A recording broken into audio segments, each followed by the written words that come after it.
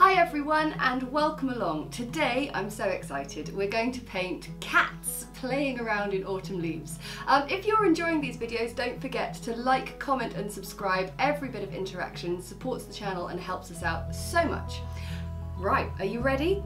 Grab your paints and let's get started. Okay, so we're going to paint two cats playing in the autumn leaves. Um, so to draw a cat, what I like to do is I like to work out the sort of shoulder and then a sort of back leg haunch. And I connect front to back, I might just make it a bit closer actually, front to back, front to back and then from there we can get a tail, we can get the legs,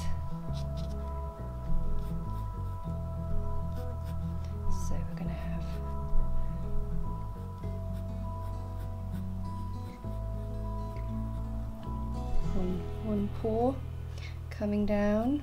We've got a cat who's sort of looking a bit in, inquisitively so we're going to have another of that little like just little drop paw we're going to get and then for the head we can do so one more round shape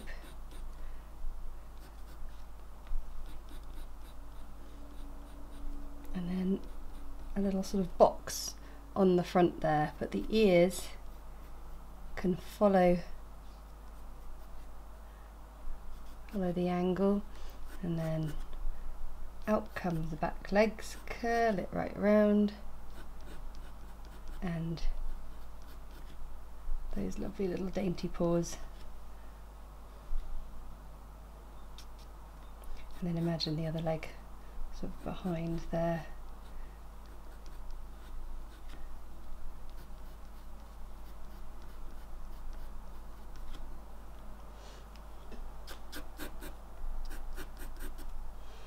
So there we have one.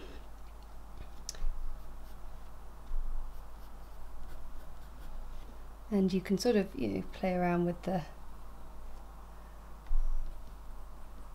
with the sort of personality of your cat, but that's quite a nice sort of starting point for your cat. And then I thought we'd have one sort of coming from the other direction, doing a similar kind of tentative playing with with the leaves as well because we'll have a few autumn leaves playing up in the air. So I'm going to have this one, the shoulder is a bit more hunched and the leg is going to come back like this and we'll have the the leg up like that. So up up goes the back, so we might be a little arched. Tail's almost coming off the end of the paper.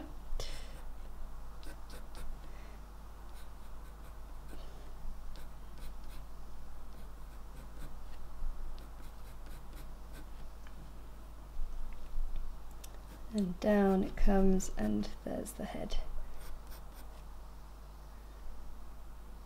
And we'll have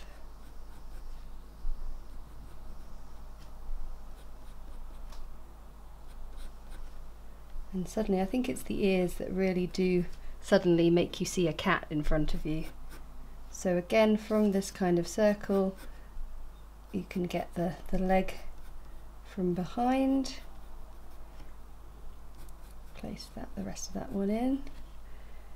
And then just both being rather tentative with these autumn leaves. Maybe they've seen something in underneath the pile that we haven't yet drawn.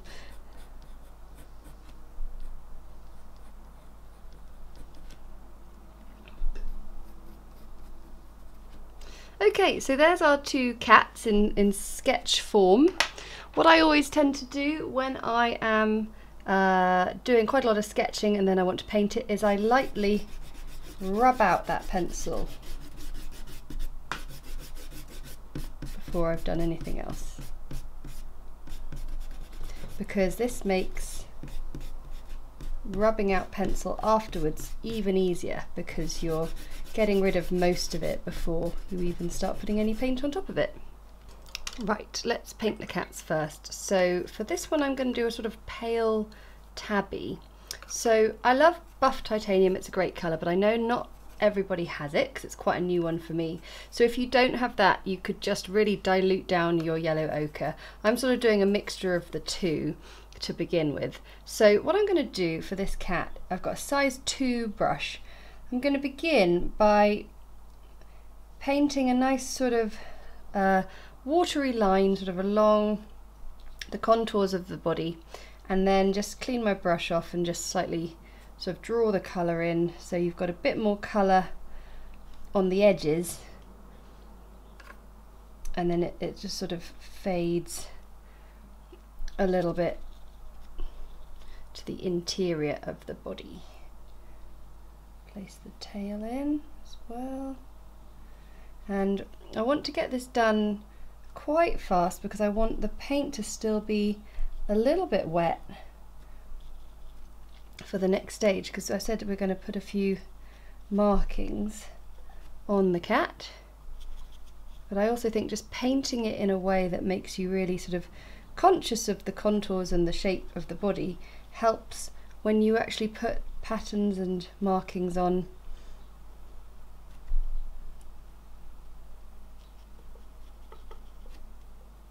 Okay.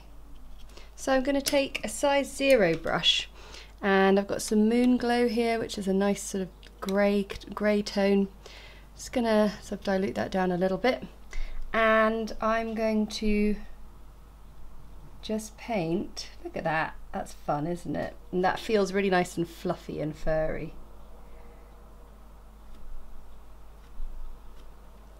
Paint some nice stripes on.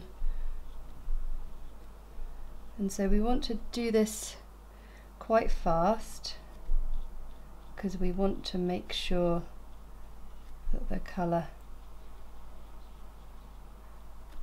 remains that lovely furry style.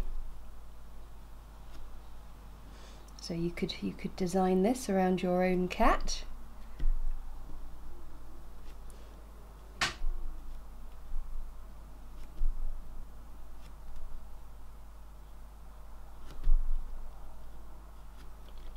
I wonder if your cat wanders along your uh, your painting area like some I've seen. so for down here, just do a few little contours, but essentially these are going to really soften and lighten as they dry. We'll just put a little bit extra colour on the, the face there. It's a lovely way of painting a cat without too much fuss, I think. We will of course go back and do a bit of uh, detail on the on the face. But you could do all sorts of colours, couldn't you, with that? It would work really nicely. Um, for this one, I think we are. We'll do a sort of, I guess, a tortoise shell. Maybe that might be the right the right bra um, brand, right breed of cat. I don't know a huge amount about cat breeds, so I'm sure you can all tell me what it is I've created on this page. Um, so some some nice warm tones. We'll get some orange in there as well. Some really dark colour as well you can just have some fun with it, can't you? But we're going to start with our lightest colour first, and I'm going to put patches on our cat, which again, really want to be nice and uh, wet, so that when I then place in some yellow ochre, oh, Crumble's barking, I did tell him we were painting cats, and I wondered if it might evoke a reaction, provoke a reaction.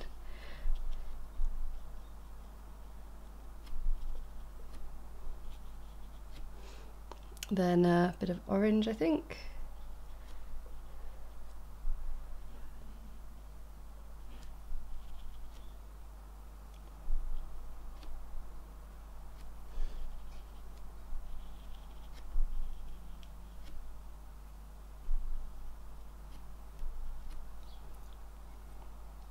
Now for some burnt sienna.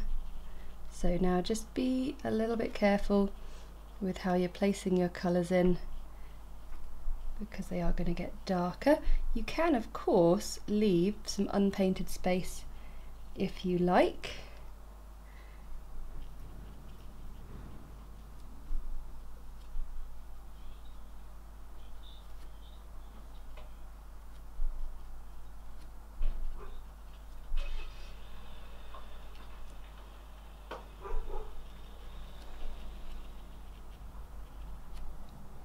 And then finish off with this lovely dark colour which will kind of tie everything together actually.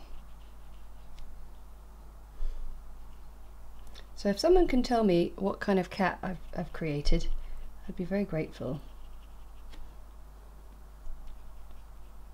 Just being careful around the ears and eyes.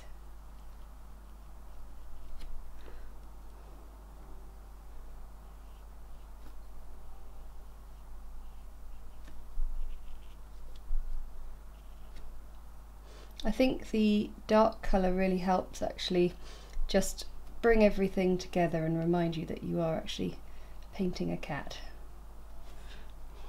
and not just a complete patchwork of things.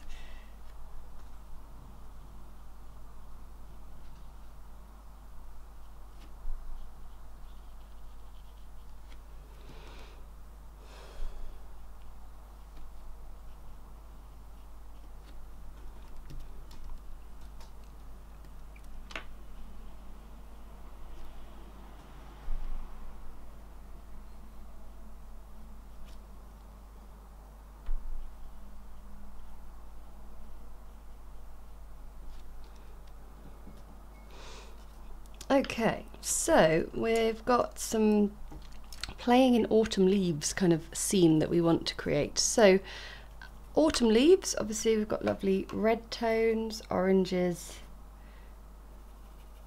yellows, and even a bit of green gold I think is always quite good for an autumn leaf.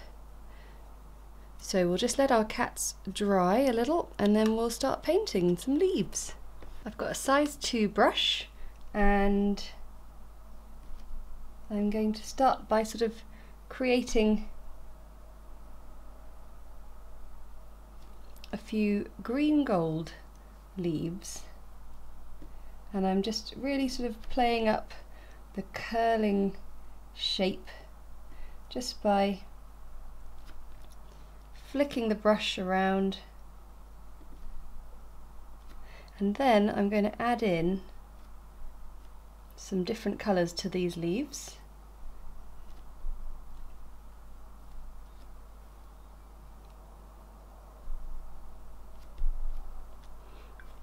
So I think the best thing is to choose a, a colour that's quite a light colour, like buff titanium or the green gold, or even some cadmium yellow maybe.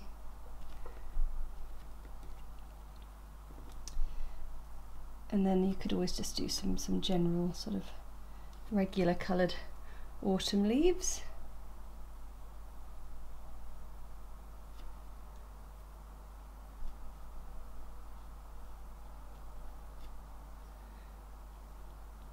And then you can just drop in different colours. Of course we do need some brown as well I suppose.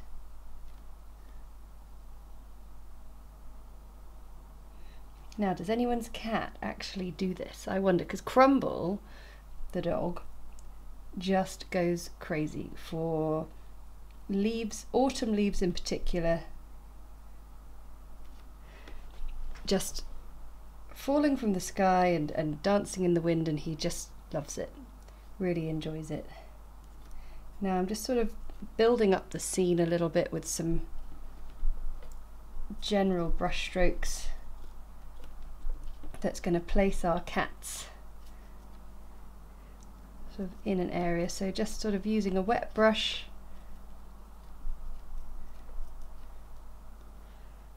And a little bit of colour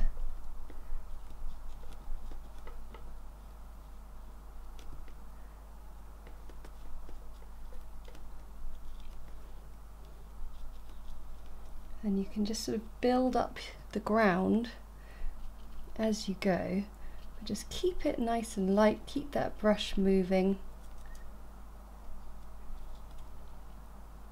And I'm going to let these dry. And then we will add just a little bit extra to them as well as adding a little extra to those lovely cats. Right then, well, first for the cats, we'll get a little bit, just the littlest bit of some shadow going on.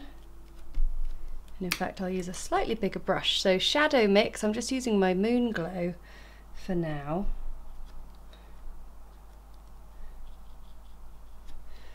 But just adding a little bit helps define the legs under the chest and things.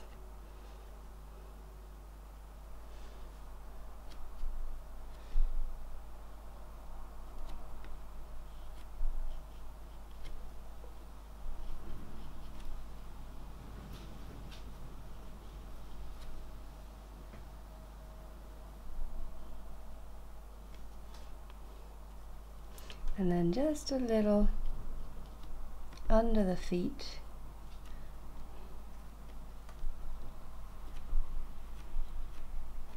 here and there. We'll give them their paws and claws with the same colour.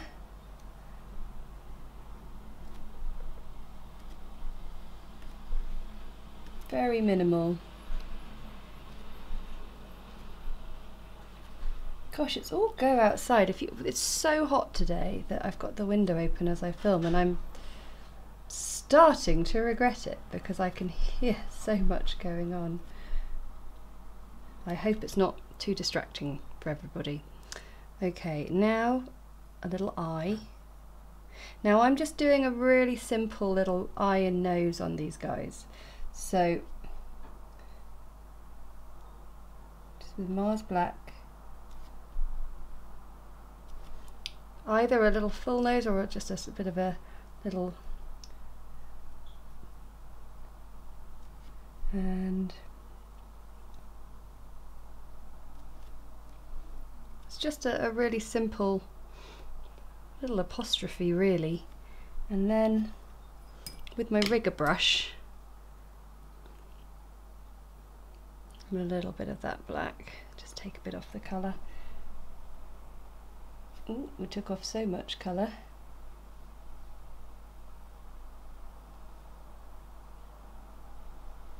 Got a bit of fluff on that brush.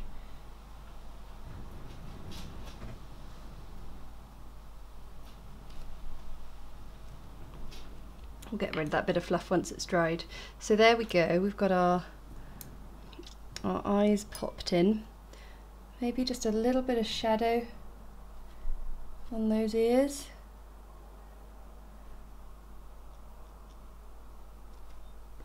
And they're looking good. So now it's time for a bit of fun with our autumn leaves. Like I said, not we don't need too much, but just a few extra little lines here and there with some of the different colours. So some of the maybe stronger colours.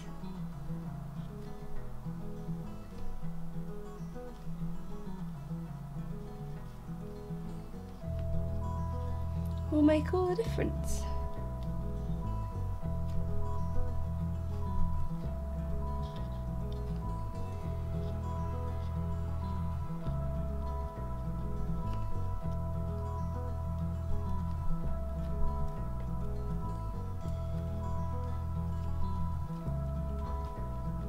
Right, so I'm just going to wait for this to dry, rub out the pencil, and then we'll have our piece. And with the pencil rubbed out, there is our lovely cats playing in autumn leaves scene. Thanks so much for watching. I really hope you enjoyed that one. I want to say a massive thank you to our patrons for their support because that support enables us to keep creating videos like these that everyone can enjoy. And if you enjoyed it, then hit the like button, comment below to let me know how you got on with that one. And of course, if you never want to miss another video, the subscription button, hit that button and the little notification bell and I'll see you again next time. Bye!